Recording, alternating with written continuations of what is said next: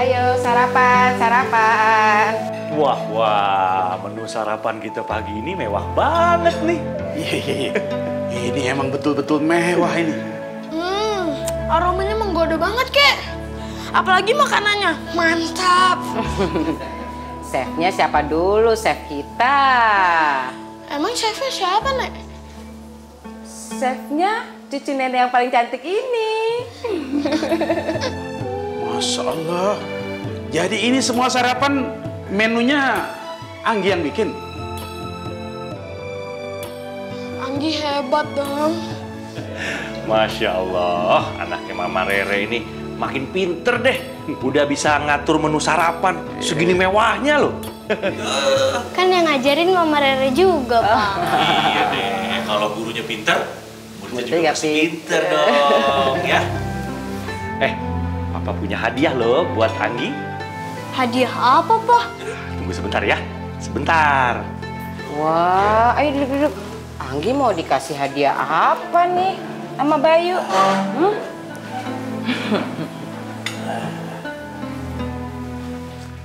Ini dia nih hadiah buat Kak Anggi. Nih, Wah. Makasih ya, Pak. Papa tahu aja kalau Anggi suka susu ini. Iya dong sayang. Kan Papa tahu kesukaannya Anggi. Warnanya juga Papa tahu. Aku kan juga suka susu itu, Pak. Ya, gimana dong nih Bu? Be, udah kamu tenang aja, nggak usah sedih. Papa juga punya hadiah kok buat Kak Bayu nih. Makasih ya, Pak. Iya dong. Kan Papa paling tahu kalau anak-anak Papa suka sekali susu ini. Biar sekolahnya makin pada pinter ya. Wah, cucu kita makin pinter jadinya, Kek. Alhamdulillah. Amin, amin.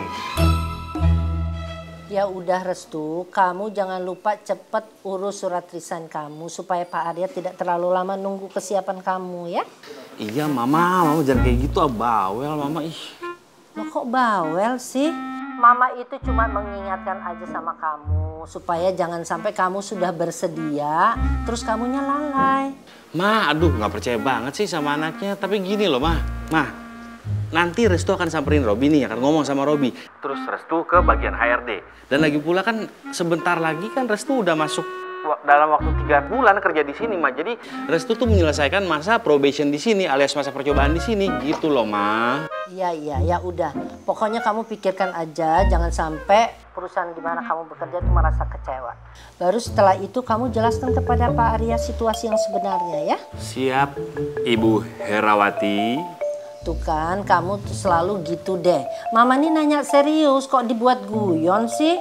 Lagian sih mama kalau misalkan ngejelasin sesuatu tuh detail banget kayak guru SD mah semua diomongin dari A sampai Z gimana nggak pusing anaknya tuh nggak?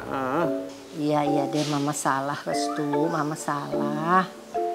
Ya ma jangan kayak gitu dong ma tuh kan mama merajuk nih ya ma. Ih, siapa juga yang merajuk ya kamu tuh? Ini kedengeran kok dari suaranya. Ya terus Mama harus gimana dong? Ya gimana ya ma?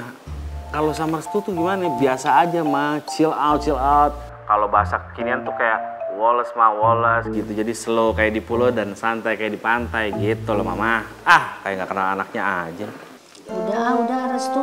Mama pusing kalau lama-lama bicara sama kamu ya. Udah ya sayang, Assalamualaikum. Waalaikumsalam warahmatullahi wabarakatuh.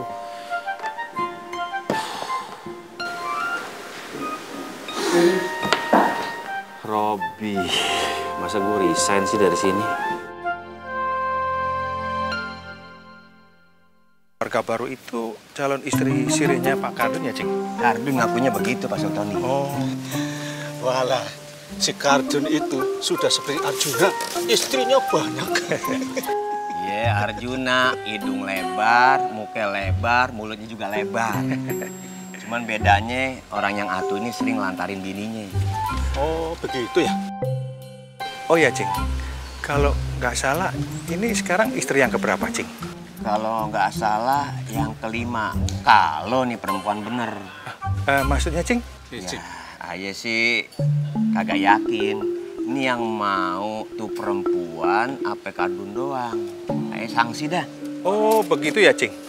Iya, soalnya ngelihat respon anak perempuannya kayaknya nggak suka sama kardun. Iya, Cing RW. Saya itu kadang-kadang jadi bingung itu. Orang sering menelantarkan istri, masih ada yang suka ya? Itu dia mandamin yang namanya misteri jodoh. Iya, Cing ya. Jodoh itu nggak ada yang tahu di antara kita ya. Gitu Iya, ya. Gitu. Eh, iya Mandamin, kalau ini memang rahasia Allah. Kalau Allah maunya yang jelek sama yang cantik, itu pasti akan terjadi. Kalau yang cantik sama yang super ganteng, itu juga pasti terjadi. Dan ada kejadian lagi, yang kaya sama yang miskin, dan lain sebagainya. Itu memang sudah kehendak Allah. Dan ini sudah ketentuan Allah juga. Bener Pak Sultoni.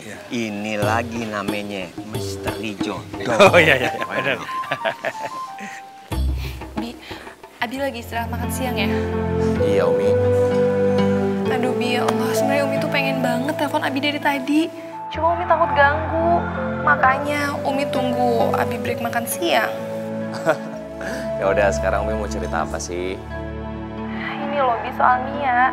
Umi tadi udah konfirmasi ke Mbak Rere. Dan ternyata bener. Dulu itu Mia tuh pernah sempat mau deketin Mbak Rere, Bi.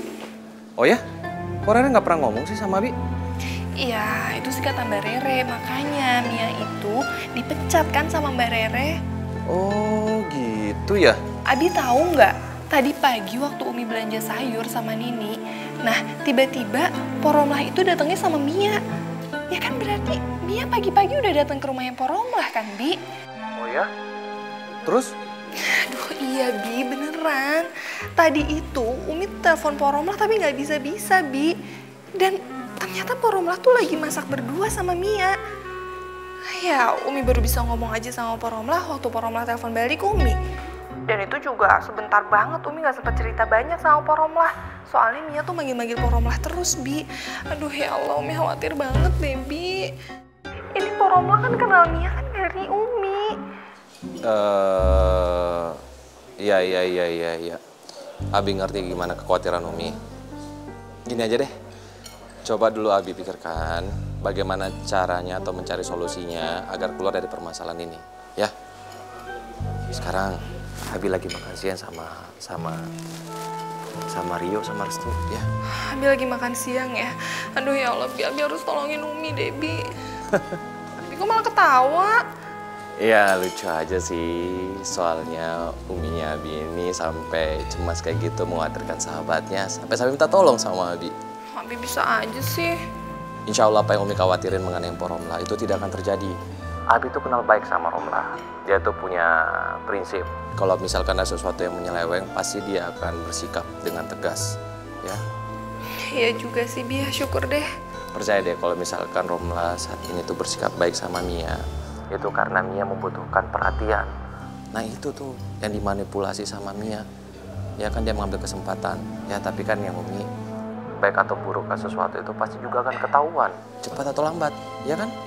Ya, lebih baik cepet deh. Lebih baik cepet Poromlah tahu deh, Bi. Itu akan lebih baik. Iya, Abi ngerti. Ya, nanti masalah ini kita carikan solusinya, jalan keluarnya ya. Soalnya Abi lagi makan siang sama sama Rio, sama Restu ya. Ya udah deh kalau gitu. Aduh, Bi, tolong banget ya, Bi. Iya sayang, nanti Abi pasti tolongin ya.